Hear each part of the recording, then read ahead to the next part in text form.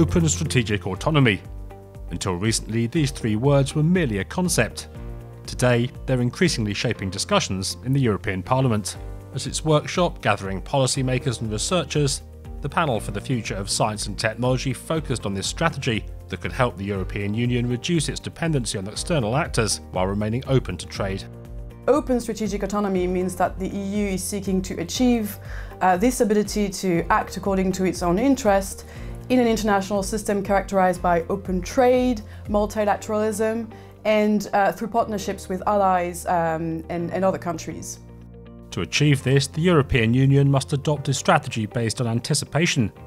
Establishing a truly EU wide industrial policy requires a long term vision. The international order, as we knew, is changing. Probably we are moving toward uh, different rules, not uh, unique rules or common rules for all the world. So we really uh, need to advance in this uh, autonomy, strategic autonomy, as other regions are doing in, in order to keep our way of life.